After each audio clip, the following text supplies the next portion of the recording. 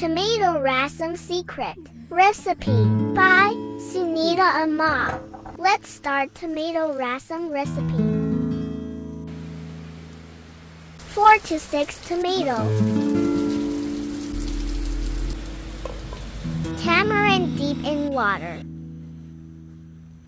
Boil and peel the skin.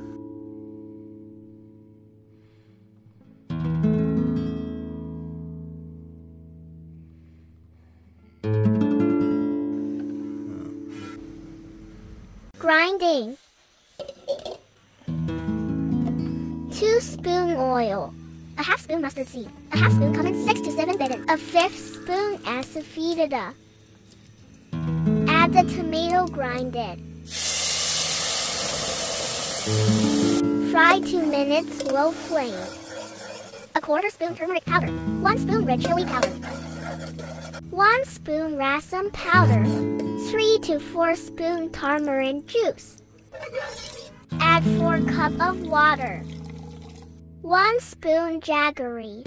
1 spoon salt. Cook for 5 minutes low to high flame. Garnish with some coriander. Tasty tomato rasam. Best combination was rice rasam.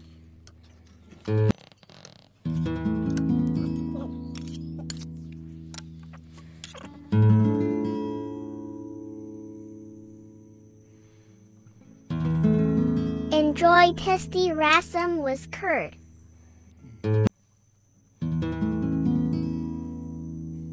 Please subscribe, follow, like, comment, share. at Cook Faree.